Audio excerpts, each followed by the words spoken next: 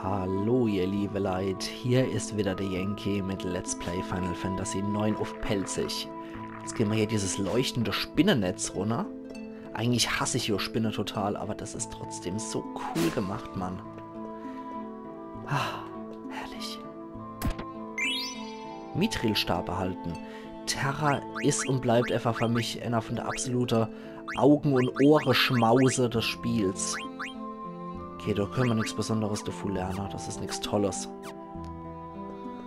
Ja, also Terra ist schon meiner Meinung nach eine ziemliche Wonne. Und eine ziemliche Wohltat für Aare und für Ohre.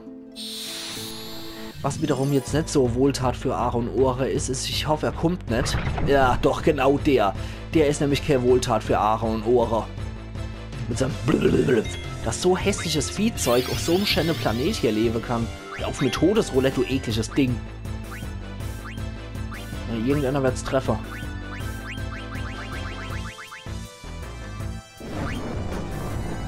Oh, es hat ihn getroffen. Das finde ich fair. Der versucht uns hier hinterhältig anzugreifen. Kriegt selber in die abgeraten von seinem eigenen Zauber.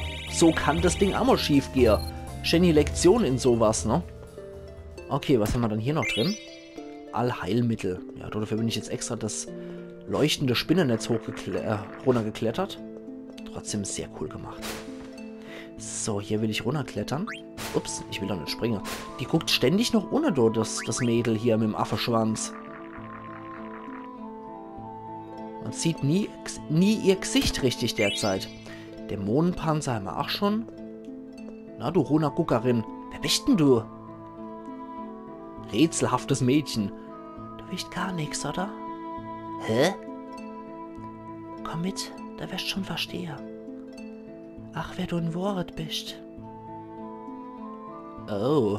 Äh, hey, wa warte mal. Das klingt aber nicht so gut, ne? Wer in Woret bist und so. Und hm, der kryptische Greis hat ja auch schon so Artdeutungen gemacht. Und was ist dann hier los? Geh nur, hm, geh nur zu, dann wird alles klar. Aber wie geil sind diese Leuchtpilze hier gemacht. Alter.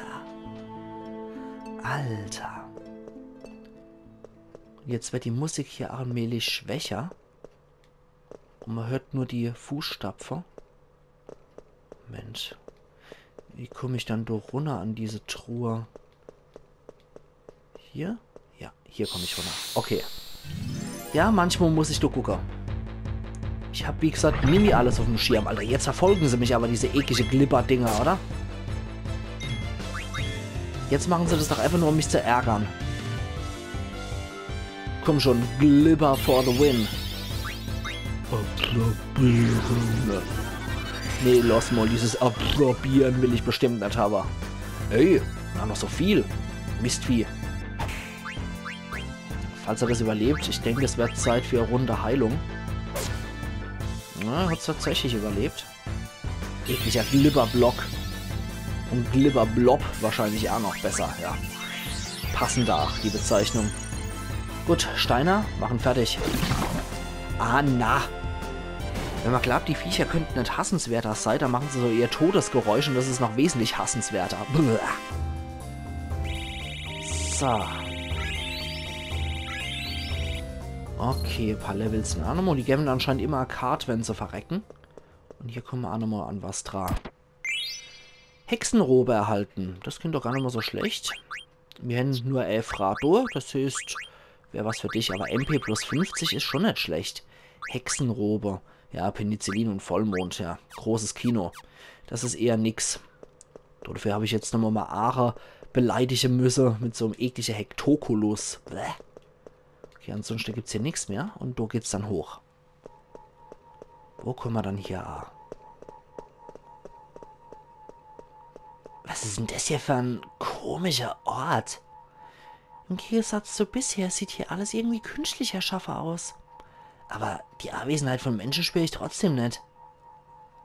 Willkommen zurück. Hä? Das ist der Ort, an dem du sein sollst. Der Ort, an dem er auf der Zeitpunkt seine willelose Hingabe ward. Dein Ort. Das klingt aber nicht gerade so toll. Branbarlu.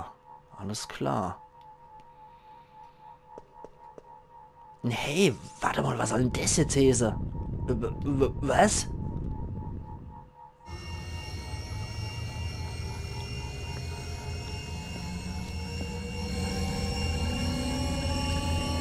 Die kennen wir.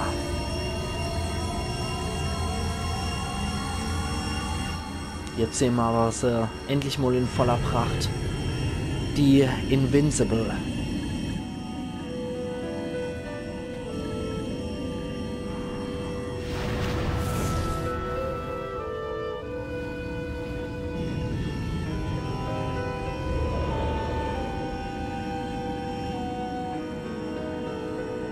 Und die wird man wieder ohnmächtig. Vor lauter gut. Oder wohl eher vor lauter schlecht. Lilly, was hast du denn? Lilly? So ein Dreck, was in aller Welt läuft denn hier eigentlich für ein Film? Ziemlich abgefahren, ne, die, die Sache. Ja, du bist wirklich nix. So wie ein neugeborenes Kind. Weshalb du der Leber halt hast, weshalb du überhaupt existierst. In der Unwissenheit schreicht auf, versuchst deinem Leben deine Existenz eine Bedeutung zuzumessen. Du wäscht wirklich nix, John Schnee. Entschuldigung, das hat jetzt zeigen müsst. Wir müssen für Lilly einen Platz zum Ausruhe finden. Sieh dann, ich bleib bei der Prinzessin. Find du einen Ort, wo sie sich ausruhen kann. Erlaub, hier wird sie wohl irgendwo sowas wie ihr Bett geben. Also ich bin gleich wieder da. Pass so lange auf Lilly auf. Oh, okay. Äh, na, in dem Fall nehmen wir doch mal Freya mit. Und ja, es tut mir leid, aber wir brauchen eine Weißmagierin. Es tut mir schrecklich leid, aber wir brauchen eine Weißmagierin. So, was gibt's dann Besseres noch für die? Ja, geht's zu der Weisenstab. Äh, äh. Nee. Dann hier noch irgendwas Egoistenreif. Ja, das passt zu ihr. Magierkutter. Heiligenrobe. Tja, du kannst jetzt Sanctus lernen. Es ist halt für sie gedacht, dummerweise. Das ist bitter. Das ist echt bitter. So. Hab jetzt aber, ach, um ehrlich zu sein, nicht mehr auf dem Schirm gehabt, dass, äh, dass Lilly hier nochmal K.O. geht. So, für Freya haben wir dort noch was, irgendwas für sie parat. Drachentöter, Plasmadrache kann sie hier lernen. Sie das Ding noch. Du kannst auch was Besseres. Immer Levitas und Konter ist gut. Goldrüstung. Latex-Toga kannst auch lernen und die Hexenrobe. Okay, Dämonenharnisch. Irgendwas Tolles noch. Äh, Edelrüstung. Kriegt sie halt Dämonenharnisch. Fertig. Und Katjuscha hat sie nach wie vor drin. Äh, Fußkette. Schwarzgurt. Odeur immer Regena. Stärkebonus Konter für die Kraftgürtel. Engelsohrring. Uriel. Okay, dann kriegen. Dann geben wir ihr doch mal die Springerstiefel. Ich glaube, das ist relativ praktisch. Und dann gucken wir nochmal wegen der Abilities, dass die auch was Gescheites kriegt. Käse mal raus. Angriffsvorteil, fördert Angriffsvorteil. Konter finde ich eigentlich ganz gut. Und, äh, ja. Stärkebonus kriegt sie auch noch. Wie, wie haben wir ja schon soweit? Ah ja, genau. Sorry, das habe ich jetzt gerade falsch gesehen. Okay, Urschrei sollte sie eigentlich noch drin behalten. Immer Regina. Ist in Ordnung. Okay. Kriegen wir soweit gebacken. Hä?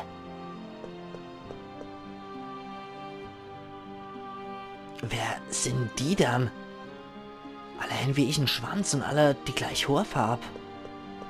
Tja, du guckst blöd, ne? Scheinbar sowas wie ein Dorf zu sein hier. Sag mal, was macht denn ihr ja eigentlich? Der Größenhaber dieser Röbe ist noch ein Kind. Wir besitzen kein Alter. So wurden wir nicht konstruiert. Um, okay. Äh, hey, was macht denn ihr hier eigentlich? Wir entwickeln uns zu Gefäße für die Seele. Was für Ding? Naja, äh, egal.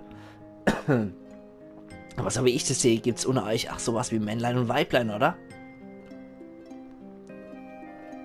Für die Anpassung an die neue Welt ist die Existenz zweier Geschlechter unabdingbar. Nur so ist die Weitergabe der komplexen Erbinformationen garantiert. Äh? Das heißt, die machen Paarung nur zu Fortpflanzungszwecken und nicht zum Spaß wie du. So, Dunkelschweif gibt's hier auch noch.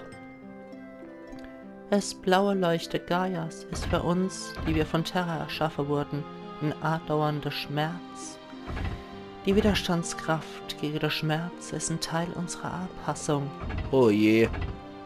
Das Atmen der Planeten, alles erscheint regungslos. Und doch ist alles in Bewegung. Und umgekehrt. Okay, Psychotante. Was ist denn das da? Sieht so aus, als gäbe es in Terra auch Mogris. ist der uns gefolgt? Der Moloch. Oh, danke, Po. Ich war da drin gefangen, Kupo. Zum Dank überlasse ich dir meine Ware, meine Ware zum Freundschaftspreis, Kupo. Alle. Äh, kann nie schade, auch von einem alten Schampel noch ein bisschen was dabei zu haben. Da holen wir doch auch glatte Mol einfach wieder ein bisschen was noch. Mystika. Mysteriöses Schwert, was mit Geist von einem Schutzgott beseelt ist. Effektivität der Angriffsmittel. Donner und Kälte wird halbiert. Heil Heiligenpike. okay. Also jetzt nichts Besonderes. Aber den alten Schampel hole ich jetzt einfach nur dazu, dass wir ein bisschen... Oh, na, ein bisschen was hin. So. Wir speichern hier. Aber auf jeden Fall Kupo. So. Und jawohl, da will ich drüber speichern. so, kleiner Wicht. Das war's erste Mal. Äh, komm schon. Hier sind wenigstens keine Gegnerkämpfer. So. Oh, was geht denn hier für ein Film? Ach, die Scheiße. Der Fluss der Seele ist ein Zeichen fürs Leben von einem Planeten, was in ihm verborgen ist. Versiegt der Fluss, versiegt auch das Leben vom Planet. Mhm. Die Farbe der Planete zeigt deren wahre Gestalt. Das Blau Gaias, das Rot Terras. Also, ich weiß nicht, ob ihr Rot-Blaufarbe blind seid, aber dort draußen ist alles blau und nicht rot. Was ist mit dir? Unnötiges Wissen geht bei der Beseelung verloren, aber um das Retardieren der Intelligenz zu verhindern, erhalten wir Mindestmaß an Infos. Oh, finde ich schön kreist auch seine Seele. So wie die Planeten kreisen. Ach du Scheiße, Psychoalarm mal wieder. Das Atmen der Planete zeigt sich in ihrem Leuchter. Der Kreislauf der Seele ist ihr Wille zu leben. Ihr seid schon ziemlich abfahrene Seelenfreaks hier, oder? Bei der Vereinigung der Seele Gaias mit der Seele Terras wie die Gaias im Krieg der Sterne verschlungen wäre. Äh, Moment, aber das sind erstmal die Stormtrooper zu entscheiden, nicht ihr. Mann, Mann, Mann. Na, hier, fähren, hier fährt anscheinend ein richtig übler Film. Lauter so... Lauter so seelenlose Freaks of Valium hier, die alle auch noch wie sie dann aussehen und bei weitem nicht so lebendig sind, wie der lebendig ist. Also hier geht irgendwas grundlegend schief. Die visuell erhaltene Informationen zu verarbeiten ist ebenso ein notwendiges Element der Erfüllung unserer Aufgabe. Mhm. Danke, dass wir drüber gesprochen haben. Ah, das sieht aus, als könnte man auch pennen. Hier kann sich Lili bestimmt erholen. Ich freue mich nur, was mit der Type hier los ist. Die geistern hier rum wie leblose Gespenster. Außerdem drängt sich in mir oberhakiges Gefühl auf. Aber du, dafür habe ich jetzt Zeit. Zuerst muss Lili wieder fit werden. Du, hm, gibt's... Ja, mit dir will eh keiner retten. Hier irgendwo Medizin? Hm. Hallo? Ich suche Geschäft, wo man Medizin... Kann man jetzt endlich in das Haus, wo ich hier Medizin finde? Ihr bestimmt nicht. Mendo, sitzt ihr alle auf eure Ohren oder was? Die sind sowieso alle total komisch und allein wie sie dann einen Schwanz. wenn hier doch bloß irgendwo... Äh? Pimo Pimo Kraut wachse, det kenne ich Lilly Helfer. Aber so etwas gibt's hier bestimmt nicht. Es ist eine andere Welt, du Kuh. Hey, habe ich dich das Mädel von vorhin, weil du es in so einen komischen Ort gebracht hast, ist Lilly... Nee, du hat Eiko jetzt keine Zeit. Sag mal, wo kriegt man jetzt hier Medizin? Gott, ist die penetrant. Sie wird bald zu sich kommen. Aha, und wer willst du das wissen? Wo ist er hier? Er? Wer? Von wem redest du? Mensch, etwas sieht dann, das kannst du vergessen, nicht mal Eiko hat's bis jetzt geschafft. Sich zwischen Sidan und Lilly zu stellen, die zwei sind nämlich ganz doll verliebt. Edge, oh, ist das ein blädes, blädes Kind. Also schminkt dir das lieber ab. Ich freue mich echt, wessen Lieblingscharakter eigentlich Eiko ist. Richten aus, dass ich unten im Laboratorium wart. B bitte? Sie hat jemand um Gefallen zu bitten und überhaupt, warum sollte ich? Hey, ich bin noch nicht fertig. Die hat ja wohl einen Horn. Aber jetzt muss ich schnell zu der anderen. Oh, ja, du wärst mal lieber weiter weggeblieben. Ich kann dich hier nicht gebrauchen. Lilly, Prinzessin, ich war zu schwach um. Oh, und der macht sich wieder nur selber Vorwürfe. Ah, verdammter Dreck. Was ist denn in dich dann? Dein Verhalten ist nicht sonderlich typisch für dich. Und was bitte ist typisch für mich? Entschuldigung, ich weiß ja nicht, was mit mir los ist. Ich bin doch irgendwie nervös und so urig bei dem blauen Licht hier. Oh, Prinzessin, ihr seid wieder zu euch komme. Was ist denn da vorgefallen? Ihr habt plötzlich euer Bewusstsein verloren. Ich habe mich erinnert. An was dann? Madain Sari wurde nicht von einem Sturm zerstört. Das Luftschiff mit einem großen Ach hat Madain Sari zerstört. Wisst ihr noch? Als Alexandria zerstört war, es konnte man auch das Ach am Himmel schweben sehen. Ja, es hat tatsächlich so ausgesehen, als hätte es Ach den Lichtstrahl. Stimmt.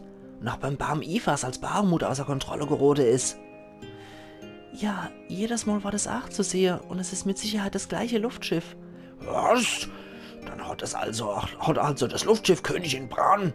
Steiner. Oh, bitte. Entschuldigung wegen dem rücksichtslosen Ton, Prinzessin, nicht Tor.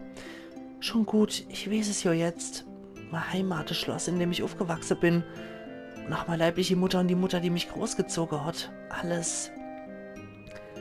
Hat man das Luftschiff genommen? Gulp. Lilly, geht's dir wieder besser?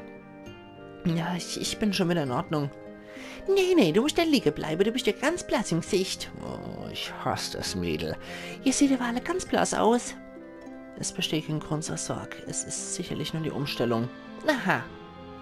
Sieh dann, wo gehst denn du hin? Ach ja, du fällt mir ja ein. Das komische Mädel, was uns hierher geführt hat, hat irgendwas davor erzählt, dass sie nach einem Laboratorium auf dich wart. Sich, hört sich ja richtig hört sich hier irgendwie richtig pfui an. Ja, nur weil du kompliziertere Wörter kennst als welche mit drei Silber. Sieh dann. Ich hasse das Kind. Das ist so richtig eklige Kröter. So, Lilly ruht sich noch aus. Hier holen wir uns das Elixier. Steiner. Prinzessin, ich war zu schwach um. Ah, bitte spar mal die Leier. Nee, ich will mich nicht ausruhen, aber danke, Freya. Ja, Aiko wird sich um Lili kümmern. Na, herzlichen Glückwunsch, du könntest aber theoretisch ja genauso gute Kisse aufs Gesicht drücken. Okay. Alles klar. Dann tät ich doch mal glatt Sache, ihr liebe Leid. Ja, der seelt hier immer noch kräftig rum. Ich würde mal glatt Sache. Ich mache an der... Huch! Der kommt aber echt hier wirklich gut rum. Diamant, Äther Elixier für 2222. Oh, ich habe nicht so viel Gil. Okay. Ja, Steelskin kommt anscheinend echt hier rum, weil äh, der ist sogar auf einen anderen Planet gereist. Erlaub. Äh, dann verkauft man noch ein bisschen Quatsch. Wie der Druidenstab zum Beispiel. Äh, Route können wir noch verkaufen. Hier die Golemflöte, fort mit dem Scheiß. Äh, Zauberarmreif, komm. Nee, brauchen wir nicht. Upsala. Erstmal hier den Kruscht abkaufen vom Stillskin. Diamant, Äther und Elixier für 2222. Kriegen wir doch jetzt auch hier die Ware noch äh, übereignet. Besten Dank, ach, mit dem Geld kann ich wieder verweilen auf Reise gehen. Geht's doch zu anderen Planeten oder was? Wo habe ich, hab ich mich denn jetzt schon wieder her verlaufen? Ja, das würde ich mich an deiner Stelle afrochen, Kleiner. Mock nicht, Kupo, noch nie davon gehört, Kupo. Was ist denn das, Kupo? Ich mag das Mock aber ausprobiere. Bitte übernimm die Zustellung, Kupo. Übergib den Brief bitte an Mokrizuma. Okay, ja, mache ich doch auf jeden Fall. Danke, Po. Er kennt sich zwar nicht mit Mog aus, aber er kann Mog, er kennt Mogris in äh, andere Welten. Okay, das nehme ich mal so hier. Gut. Dann würde ich jetzt aber, ach Sache, ich mache jetzt hier meinen Cut. Und wir sehen uns dann morgen wieder zu Let's Play Final Fantasy 9 auf Pelzig. Also machen's gut und bis morgen dann wieder, wo wir uns weiter in Branbalu umgucken werden. Ayan Yankee.